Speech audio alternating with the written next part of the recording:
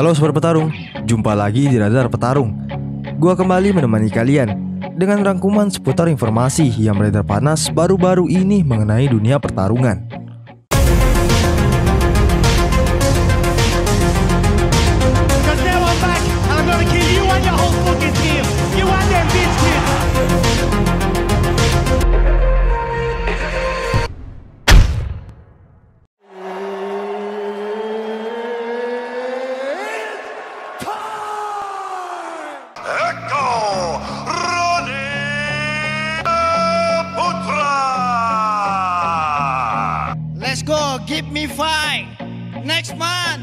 Let's go. Petarung Indonesia, Eko Roni Saputra, mengaku percaya diri bisa mengalahkan Raja kelas terbang One Championship, Demetrius Johnson. Eko Roni Saputra belum lama ini memperpanjang rekor kemenangan beruntunnya di ajang One Championship. Berhasil mengalahkan Yot Kaike Firetex di One 162. Eko Roni Saputra kini berada dalam tren 7 kemenangan beruntun Tujuh kemenangan beruntun itu diperolehnya melalui finish pada ronde pertama. Namun, kemenangan di WON 162 ini tampak menjadi yang paling spesial bagi putra daerah Samarinda ini. Eko Roni Saputra mendapatkan anugerah penampilan terbaik dalam gelaran tersebut. Rekor ini tentu bisa menjadi tekanan pada WON Championship untuk mengabulkan keinginan Eko Roni Saputra agar bertemu petarung top 5. Jika keinginan itu terkabul, Eko Roni mungkin hanya membutuhkan sedikit pertarungan lagi untuk bisa bertarung dengan sang raja kelas terbang, Demetrius Johnson. Namun, Eko Roni Saputra sebenarnya siap-siap saja jika harus dipertemukan Demetrius Johnson di pertarungan berikutnya. Petarung yang berlatih di Sasana Evolve MMA ini bahkan percaya diri bisa mengalahkan The Mighty Mouse dan menghabisi sang legenda dengan bogemnya. Petarung dengan julukan dinamit ini lantas memaparkan strateginya jika sampai dipertemukan dengan Demetrius Johnson. Aku jika ketemu Demetrius Johnson, bagiku itu luar biasa karena DJ adalah legenda di UFC dan dia itu yang dulu aku biasa tonton.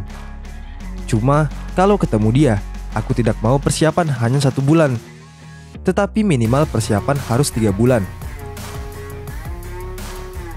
Johnson pernah kalah dari Henry Cejudo dengan dia bermain striking.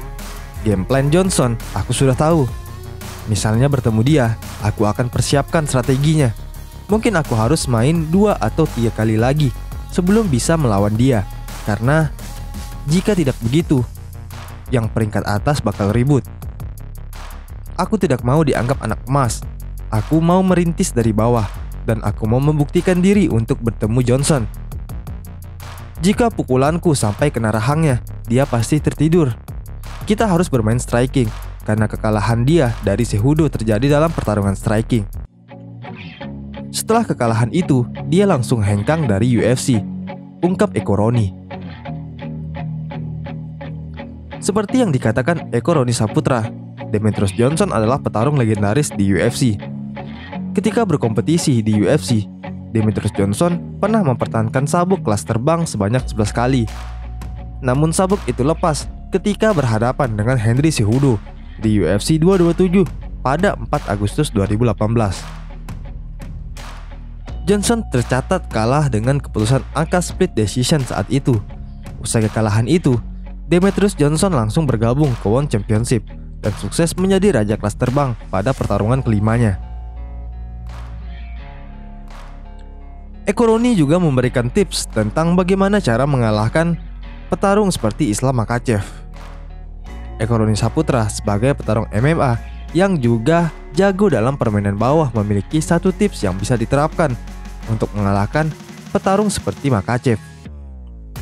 Petarung asal Samarinda ini mengaku bahwa mengalahkan ahli gulat seperti Islam Makachev dalam permainan bawah tidaklah mudah. Eko Roni Saputra melihat peluang yang lebih baik untuk menghadapi petarung seperti Islam Makachev jika menggunakan striking. Eko Roni melihat bahwa cara terbaik untuk mengalahkan ahli gulat seperti itu adalah dengan metode knockout Kalau saya untuk mengalahkan ahli gulat, apalagi dengan ground game bagus, agak susah. Kalau bertarung di striking peluangnya masih 50-50. Kalau Islam, dia seperti Habib yang mengandalkan main di ground juga. Babak awal main striking, sebentar kemudian dibawa ke ground game, dan setelah itu lawan akan habis. Mengalahkannya harus kena pukul KO. Kalau dia tidak goyang dipukul, dia masih bisa lanjut dan akan balik menghabisi lawan di ground game, kata Eko Roni Saputra. Kendati telah menampilkan performa yang gemilang, ada satu hal yang disayangkan Eko Roni Saputra. Satu hal yang disayangkan petarung berusia 31 tahun ini adalah minimnya apresiasi yang diberikan oleh pemerintah daerah asalnya. Eko Roni Saputra sendiri adalah petarung yang berasal dari Samarinda, Kalimantan Timur. Padahal nama daerahnya itu dibawa Eko Roni saat dirinya bertarung di World Championship.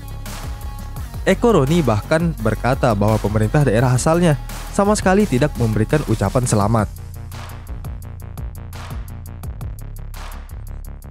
Kritik pun dilanjutkan Eko Roni dengan mengenang masa saat dia masih menjadi atlet amatir. Eko tak pelak melempar kritikan kepada petinggi-petinggi di daerahnya. Eko menyebut bahwa mereka baru akan benar-benar memperhatikan ketika dia sukses menjadi juara. Namun, Eko Roni menegaskan bahwa dia tidak mengharapkan imbalan dari pemerintah daerah. Eko mengaku sudah bersyukur apabila mendapatkan sekedar ucapan dari pemerintah daerah Samarinda. Kalau dari pemerintah sama sekali tidak ada ucapan selamat. Pemerintah dan gubernur tidak ada. Tetapi aku tidak mau berkecil hati. Orang-orang di Samarinda sudah mulai mengenalku. Bagiku, ucapan selamat biasa saja. Aku tidak mau berkecil hati, tetapi sekarang aku di One Championship membawa nama Indonesia dan nama daerah. Walaupun mereka tidak menganggapku, bagiku biasa. Namanya kita merintis. Ada yang suka dan ada yang tidak suka. Nanti, jika aku dapat sabuk juara, mereka baru sibuk. Seharusnya, mereka tahu perjuangan orang seperti apa. Dulu pun ketika aku menjadi atlet amatir, sama saja tidak ada ucapan berlebih. Bukan aku berharap imbalan, tidak. Tetapi, ucapan selamat bagiku sudah luar biasa. Karena aku putra daerah, dan aku membawa nama daerah. Bukan prestasi sembarangan, tetapi aku tidak mengharapkan apa-apa. Aku biasa saja ungkap petarung dengan rekor 7-1 di MMA profesional itu. Sekian kabar yang dapat gue sampaikan. Terima kasih telah menyaksikan video Radar Petarung. Stay tune.